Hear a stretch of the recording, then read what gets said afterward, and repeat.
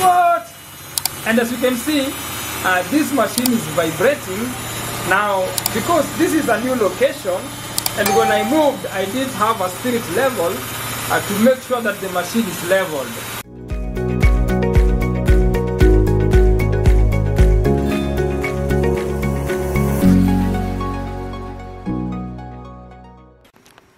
Hello and welcome back to Ian's Gadgets. In today's video, I'll be sharing my experience of how I managed to fix my machine wobbling and vibrating.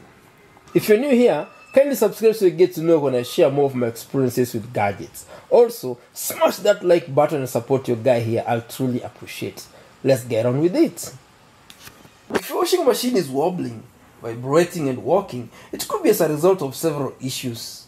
In this video, I will walk you through some troubleshooting and fixes that I believe could come in handy if you're experiencing such problems.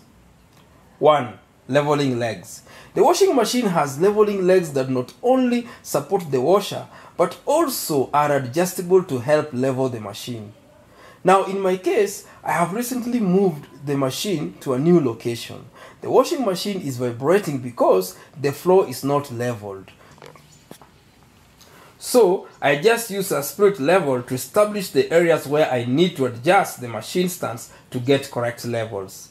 Luckily, my Samsung machine came with a spanner, so I just adjusted the stance a little bit to get the levels.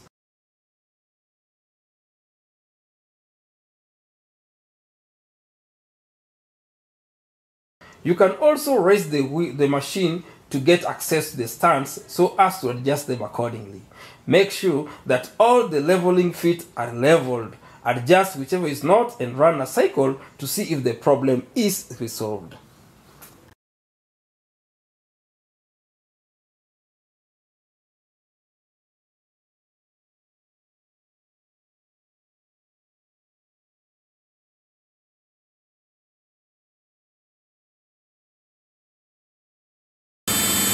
See, even when it spins fast, eh, at 1200 RPMs, it's not uh, wobbling, vibrating, you know, that kind of thing. So the issue with this machine uh, was that the floor was not level. So after I used the spirit level to find the levels and adjust the stance accordingly, I have now achieved a machine that is not vibrating, you know.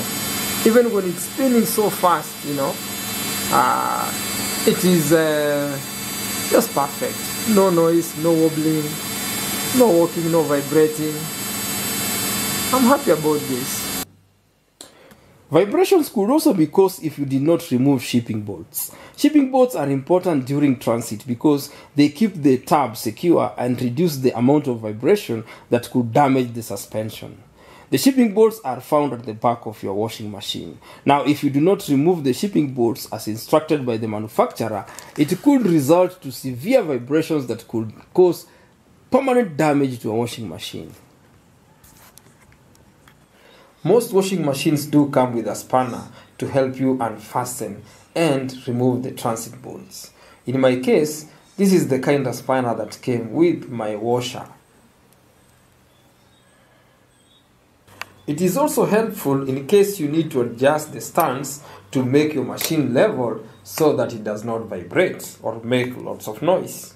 Armed with your spanner, now you just need to unfasten uh, these transit bolts one by one.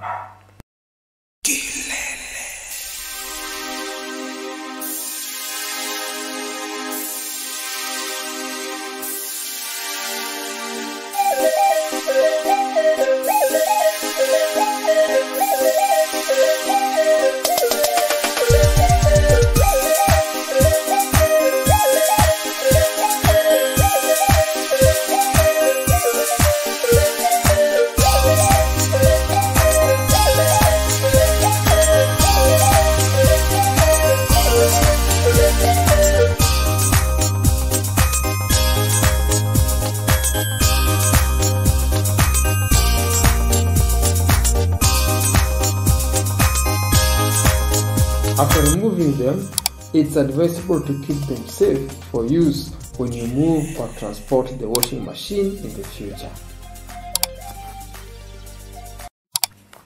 The washer also comes with caps uh, that you're supposed to use to cover those holes. So make sure to use those covers to cover those holes effectively.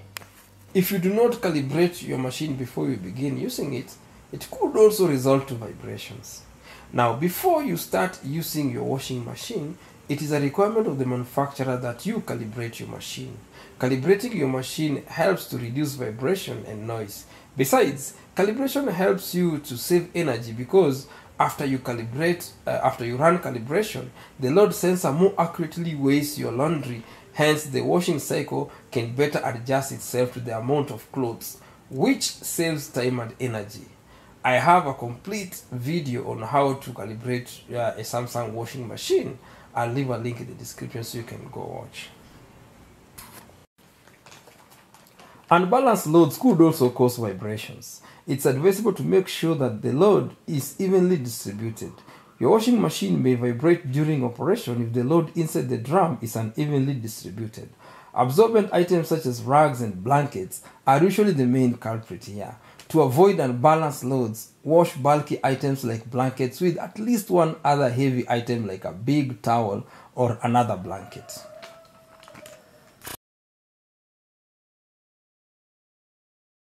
A clogged pump filter could also cause your washer to wobble and vibrate vigorously. Hence, it is advisable to clean your pump filter and make sure to remove any item that could be stuck in it. I have a comprehensive video on how to clean a pump filter. I'll leave a link in the description so you go watch. If none of the above works, it could be that the suspension springs on your washing machine are damaged. Suspension springs suspend the tub assembly from the cabinets or stabilizes the tub assembly to the washer base. The suspension springs do absorb the vibrations of the wash basket while the machine is in the spin cycle. If the springs are damaged, they need to be replaced. Shock absorbers are used to dampen the tub movement in the spin cycle.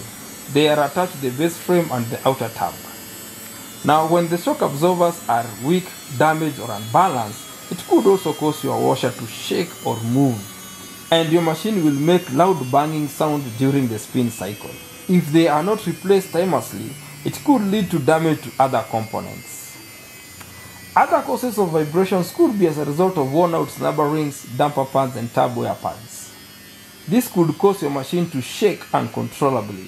Hence, it is advisable to let a professional take a look at your machine and identify and replace the problematic components. We've come to the end of today's video. If you found it helpful, please give it a like. Also, subscribe to the channel to get notified when I publish more videos. See you in the next one. Bye bye.